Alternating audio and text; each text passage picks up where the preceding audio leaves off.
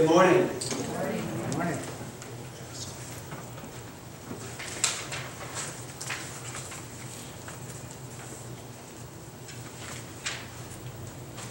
Let's bow our heads and have prayer. Heavenly Father, I pray that you will give me strength, that you will give me the words to speak, that you will clear my mind and my thoughts, that what we talk about here, what we look into the Scripture, Lord, that the words will be from you. Father, as we look at this gospel message, Father, I pray that we will see Jesus and Him crucified. For this I ask and pray in Jesus' name. Amen. Some of you guys deal with anxiety. Some of you guys ever have anxiety attacks? I'm having one now, so you need to give me a second. Probably never seen this before.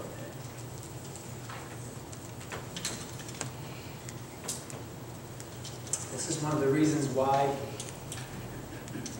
I need to step down and that you guys need new leadership. Please keep me in prayer as we go through this message.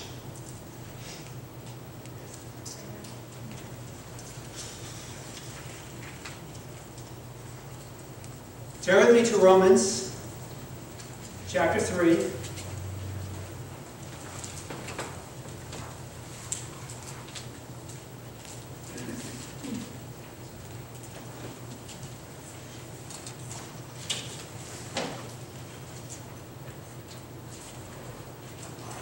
We have looked at chapter 2. We started with chapter 3 last week. I want to read again what Paul has to say from verse 9 through verse 18. He goes, What then? Are we better than they? Not at all. For we have previously charged both Jews and Greeks that they are all under what? That they're all under sin. As it is written, There is none righteous, no, not one. There is none who understands. There is none who seeks after God. Now, is he just talking about the heathen?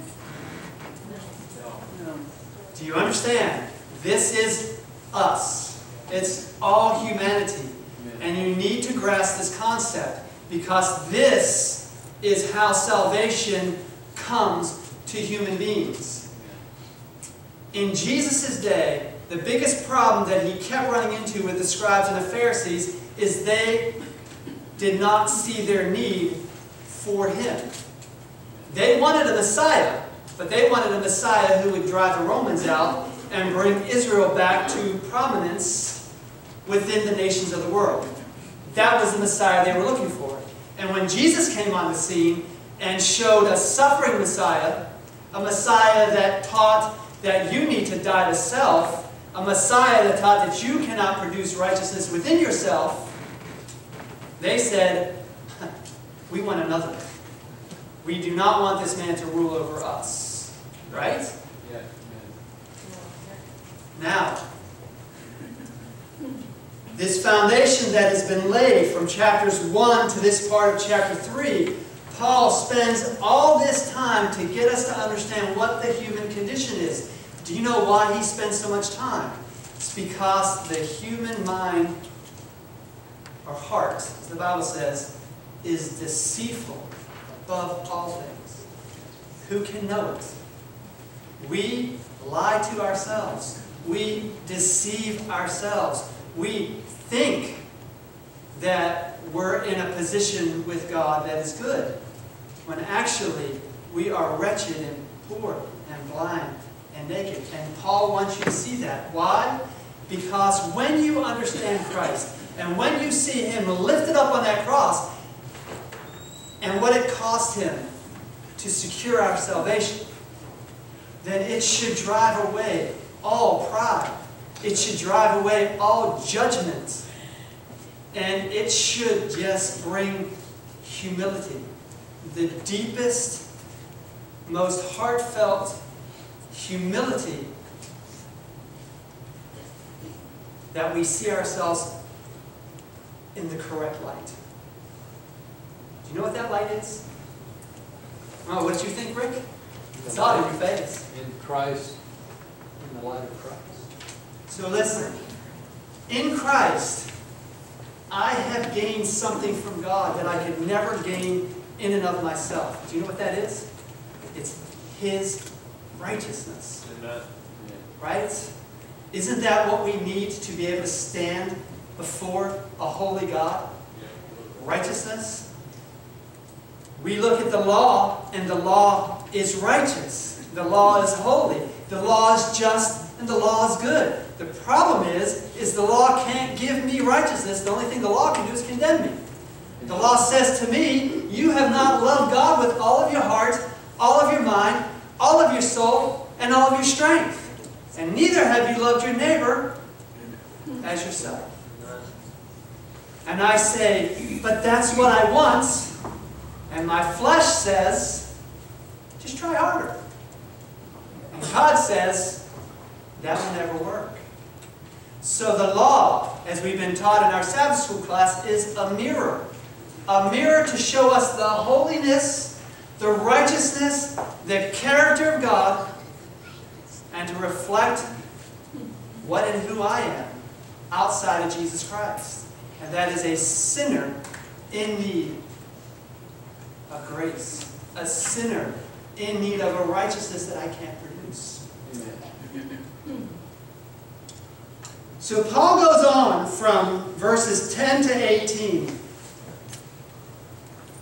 And it says, listen, I love this. Their throat is an open tomb. With their tongues they have practiced deceit. The poison of asps is under their lips, whose mouth is full of cursing and bitterness. Their feet are swift to shed blood. Now, did Paul find this out to be a reality in his life with the party of the circumcision, who always came to where he was preaching and raising up churches? Were they swift to shed blood? Yeah. Did they have poison in their lips? Were they like serpents that just harassed him and followed him around? So listen. I love how Paul makes his case. Verse 19 says, Now we know that whatever the law says, it says to those who are, what's that next word? It's actually a bad translation. That word under. Should be in, or in the sphere of the law. Or here's a legal word, the jurisdiction of the law. Okay? Whatever the law says, it says to those who are under the jurisdiction of the law. Now, who is under the jurisdiction of the law? What did you say, Ricky? World. The entire world, right? This is why Paul makes his case that whether you're a heathen or whether you're a, in his day, a religious Jew, all were under the conviction of the law. Because what does the law do? The law shows us the purity and the holiness of our God. Listen, this is the difference between us in a sinful nature and those who have come to see Christ by being born again. Those under sin look at the law and it is a terrible thing. Why? Because all brings is condemnation and judgment. Those who know Christ are able to see the law for what it really is a transcription of the character and the nature of God. God will never have another God before him because if he did, he wouldn't be what? Okay? God will not share his authority and his power with anybody else because if he did, he wouldn't be what? God will never lie to you. God will never murder you. God will never steal from you. God will never covet what you have. Do you understand the holiness and the beauty of the God you serve? Now, from our perspective, we look and go, that's the bar. And that's what we're called to. Okay?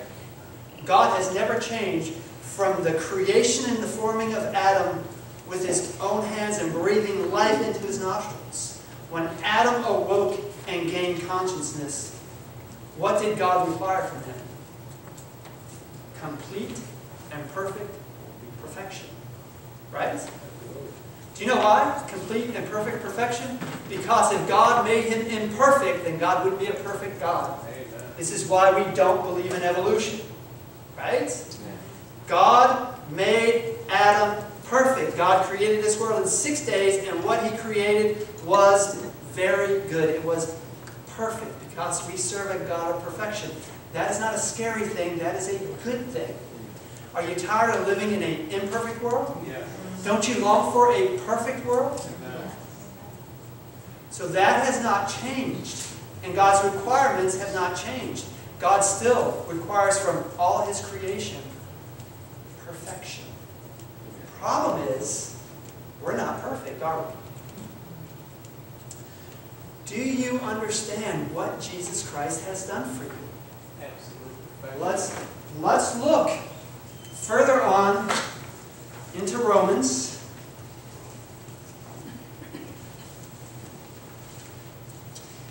Now we know that whatever the law says, it says to those who are in the law or under its jurisdiction, that every mouth may be stopped, and all the, what's that next word? This is why I'm telling you that all the world, the entire world, is under the jurisdiction of God's law. That all the world may become what? Does that scare you, that all the world may become guilty before God? That's actually a beautiful sentence. Because when you understand it, God has placed, and I said this before, God has placed us all in the same boat. So that He can save us all the same way. Amen. This is why there is one name given unto men whereby they can be saved. And that name is the name of Jesus Christ. You've heard many people say, well, you know, there's many roads that lead to heaven. No, there's one. And that road is Jesus Christ.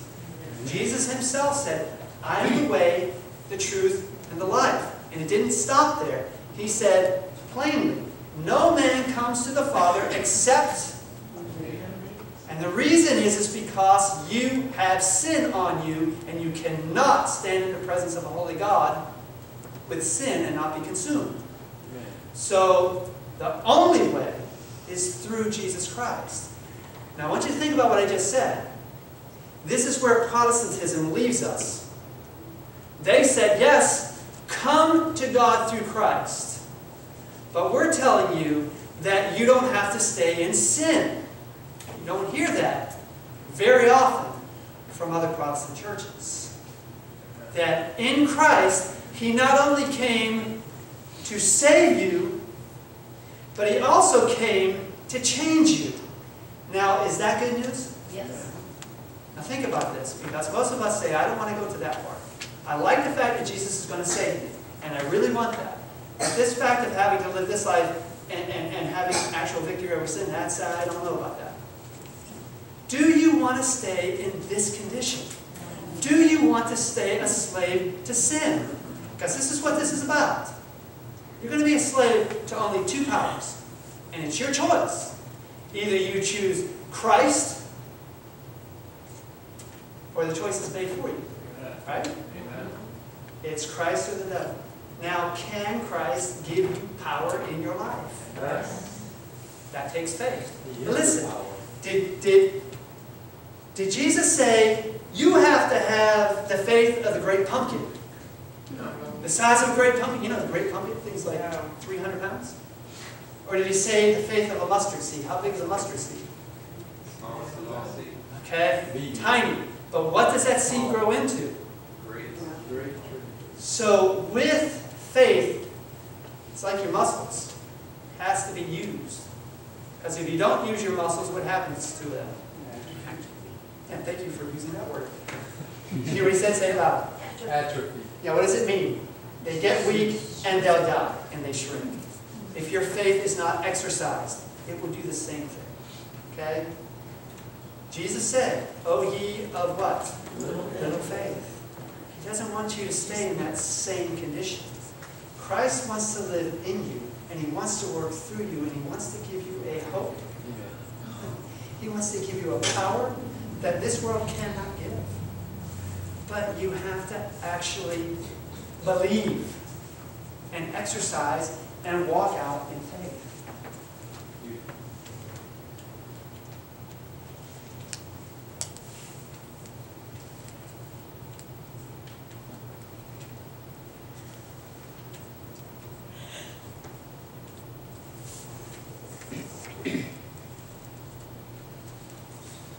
What the verse before us really says is, Now we know that what the things soever the law saith, it saith to them who are in the law, or within the sphere or jurisdiction of the law.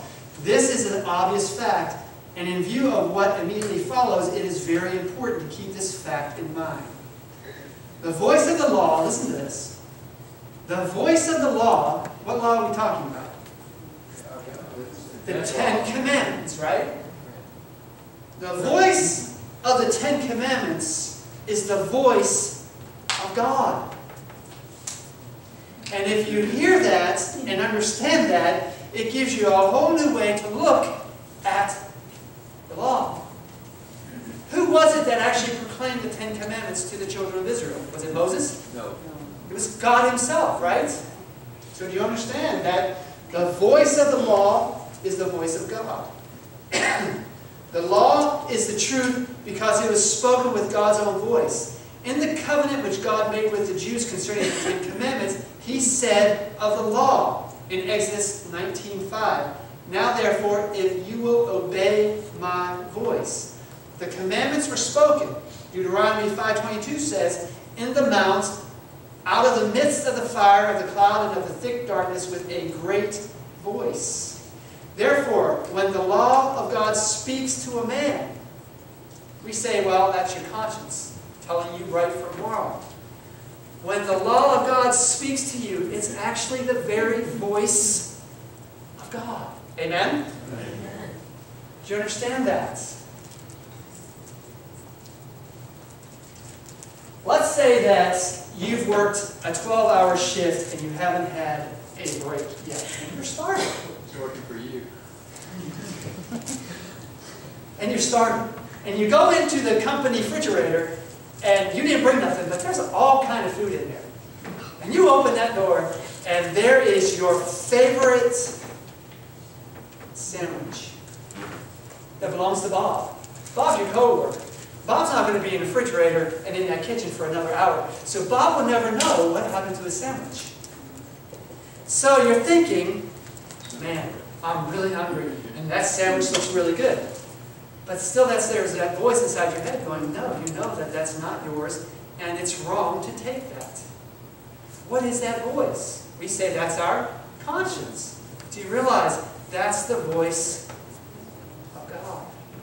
That is the Holy Spirit talking to you, working in your heart and in your life. Have you ever thought about that?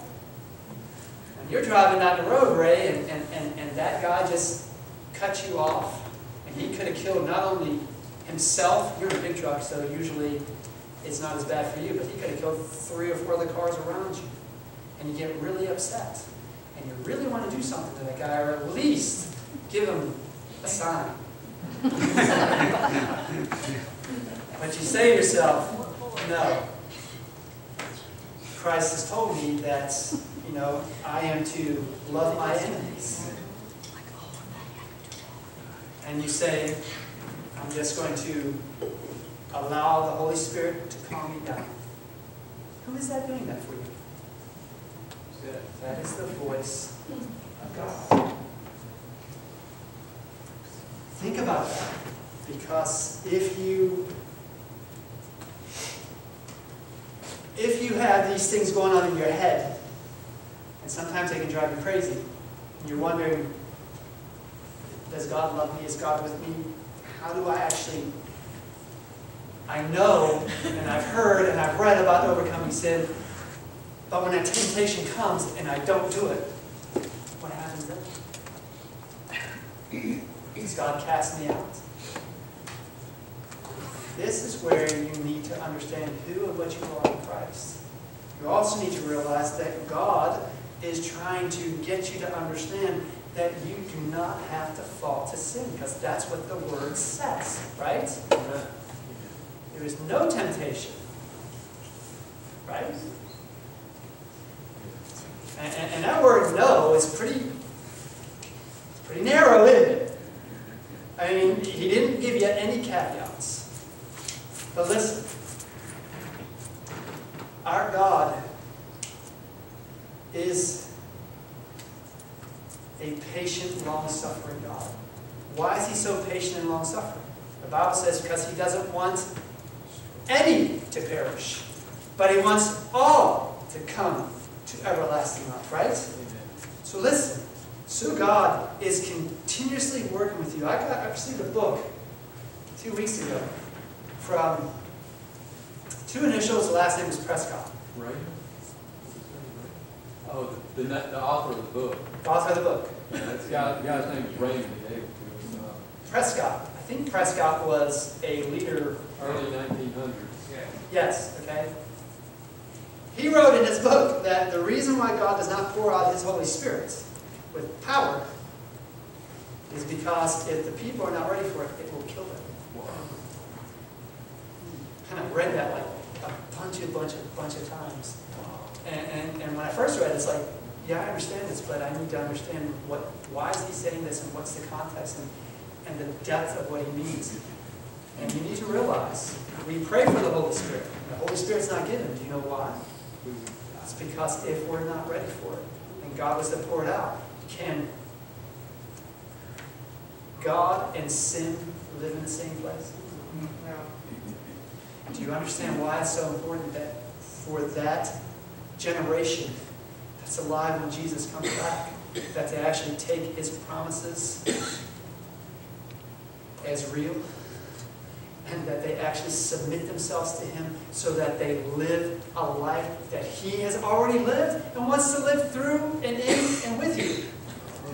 Christ hasn't come back because we're not at that stage yet. But God has raised up a church over a hundred, how many years? 170? He was ready to do this back in 1844, and then he was ready to do it again in 1888. And now we're in 2017, and I believe he's ready to do it again. But God will not pour out his Holy Spirit until his leaders, number one, are ready and submit themselves fully and completely to him, and then number two, are able to present a message that the people, and a vision that the people can grasp and see, and see that their leaders have a power that they never seen before, and that power is the power of the Holy Spirit. Amen. Brothers and sisters, that is what you and I need. That's what God has called us for. Amen. You understand why the Bible says that, that we, we are just jars of clay? There are days when my faith in God is so strong and His power is so real. And then there are days, and it could be the same day, where it's like Peter and a, a, a little girl beside a fire just totally destroyed.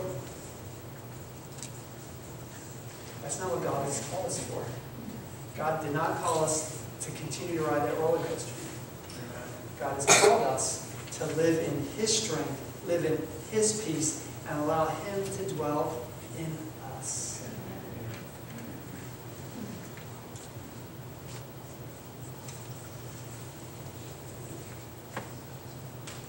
What things soever the law says, it says to them who are within its sphere or jurisdiction. Why?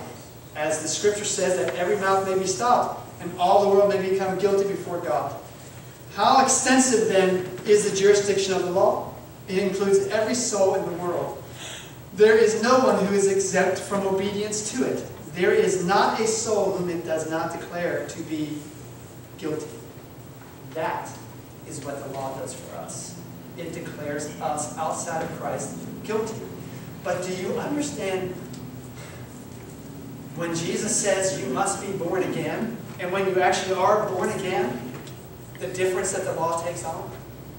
Now, what the law does is show you what real righteousness is, what Christ has called you to, and what you can actually attain and become. Listen, one of the saddest things in 55 years of living is knowing people from childhood to adulthood into my age who gave up growing and learning as a human being when they were like 19 or 20. You know those people? Yeah? You're not one of those anymore. Oh, No. Okay? I, I know those people that they've stopped growing as a person. And I want to continue to learn till the day I die. Amen. The world has a lot of stuff you can learn, and that's all it is, is stuff. What I want to learn is Christ, and I want to learn of His perfection, and I want to know Him and Him crucified. Amen.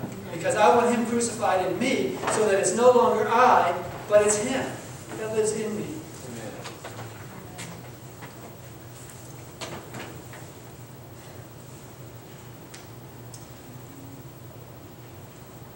What He offers, and the closer you draw to Him, the more you see His beauty and His love and His perfection. The more you see how much He cares for you. It should draw your heart to Him. And if it draws it to Him, then you're going to want to be like Him. And to be like Him, you ask yourself, how? Do you understand? He says, I stand at the door. What do you have to do? What's your part?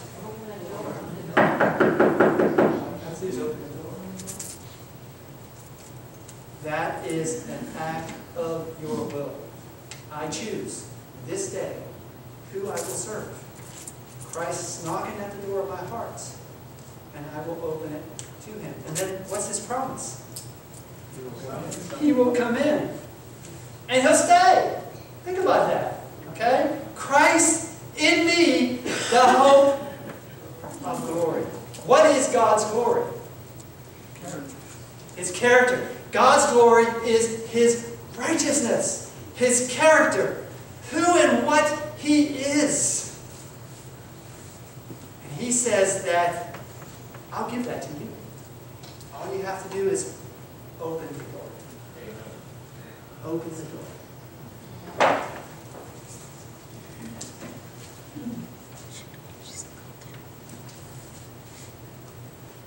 Now we know that whatever the law says, it says to those who are under the law that every mouth may be stopped and all the world may become guilty before God. Therefore, by the deeds of the law, no flesh will be justified in his sight. For by the law is the knowledge of what? How can, how can the law, which is righteous and just and good and holy, also be the knowledge of sin? Because if you don't keep the law, what does it do? It shows you what sin is. Sin is missing the mark. What mark? The mark is the perfection and the holiness of God. Do you understand that in God's creative order, everything shared the perfection of God? He gave it to them. When Adam and Eve were first made from the hand of God, did they need clothing? What was their clothing? The light, the glory, the righteousness of God. Do you understand that? We look at that and, and, and a lot of times we don't even give it a lot of thought. Okay? That, that Christ created them and they did not need clothing. It was only after they sinned that they realized they were what? Naked. Because something changed. Do you understand what God is wanting to give you? Think about this. And not only that, but it's a gift that you don't have to actually work for. That God says, take this. I give it to you. It's free. And we go, yeah, uh, nah, that, that's, that just sounds too good to be true. And in this life, anything that's too good to be true, but the promises of God are not based on fallen humanity. The promises of God are based on His righteousness, His holiness, His justice. And what God gave to Adam and Eve on the day of their birth, He promises to give to you and me right here and right now. Do you know that? We do not have to wait for Christ to come to have that glory. We can have glory living in us because the Spirit will live in us. Amen? Amen.